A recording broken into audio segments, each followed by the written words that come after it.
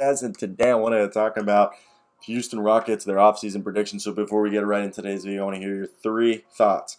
What will they do? What are your predictions? Why will they do your predictions? And how will their your predictions come true? Let me hear your thoughts down below. What will the Rockets do? Like and subscribe for over 100 videos a month on the NBA and the NBA draft. Every single team. Now, right now, they're tied with the Magic Pistons for the best odds for the first overall pick, and they have the 17th pick in the draft. With the first pick, they get the first overall pick, they're drafting Jabari Smith. Okay? He's perfect. So right now I have them drafting Jabari Smith, and then they have the 17th pick. And somebody's been commenting that you guys need another big man, even though you have Alperen Sengun, Christian Wood, and Usman Garuba.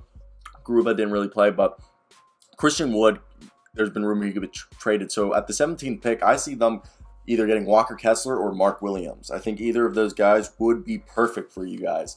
So now let's get ready in, right into the rest of the video and let's just talk about this team and what we could see. Okay, what is their offseason plan? Because look, this is a team that looks like a year or two away from being, you know, from playing for, for contending for a big uh, for a playoff berth. I couldn't even speak right there.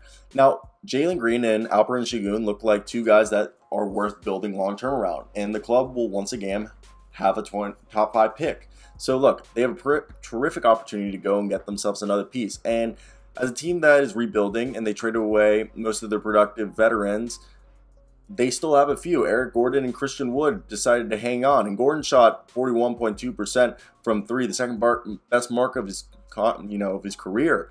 And then Wood, on the other hand, has a 14.3 million dollar cap hit. So when you look over here, and there's also they're trying to find John Wall a trade market, but obviously he's probably going to be, unless they attach draft picks, which I doubt they will, he's probably going to get bought out. Now it's possible that attaching Wood and Gordon together could create more options for the Rockets, but outside of you know contending teams, no, besides the Lakers and maybe a few other teams, no one's going to take on John Walls.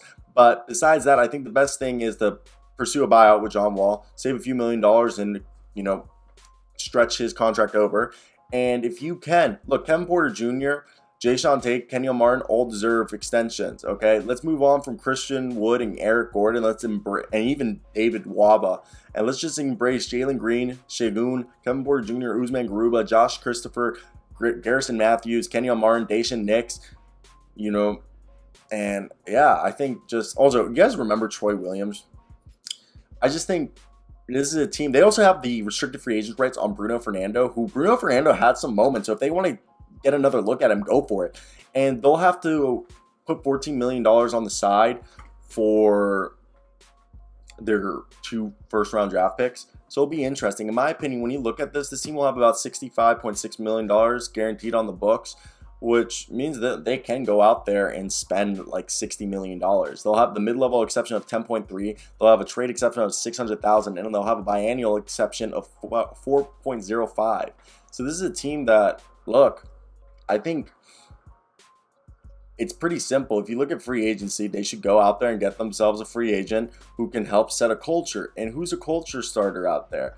Well, one could argue Miles Bridges or Jalen Brunson or DeAndre Ayton will really – help them a lot. But I don't know if that's what they want to do. I think more of the lines, maybe if you need a big man, I see this is the thing. Ricky Rubio older, but I think a guy along the lines of Tyus Jones, okay? I've talked about him a lot, but I think if you get a younger guy who's still young, who can, who has some experience, but he's not like 28, maybe he's still 26 or 25, and he can help, you know, establish the culture for this team and of what they're trying to achieve.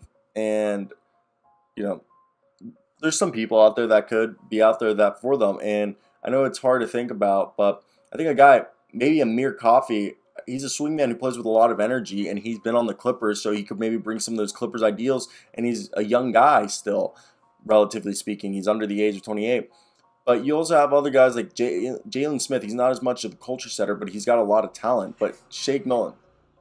So, look, I want to hear your guys' thoughts down below.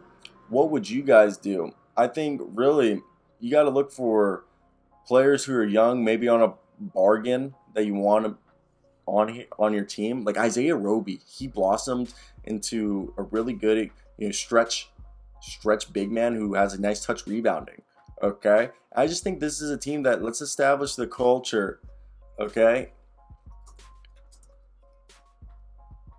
if my girlfriend just told me that she can take her final on her own and she can leave. Her she's done with school. Or she's done with school. Like she can literally leave tomorrow. That's not fair. Okay, that's not fair. But yeah, Jalen McDaniels is somebody I think they should pick up. Oshae Brissett, another one I really like. Actually, really, Frank Jackson. Austin Rivers is still relatively young. He's he's his, his tenacity on defense is what could get him. But let me hear your thoughts down below. I think they're going to go out there, get guys who can set a culture, who have a few years in the league, then go through the draft, trade Christian Wood and Eric Gordon. So let me hear your thoughts down below. And they'll buy out John Wall.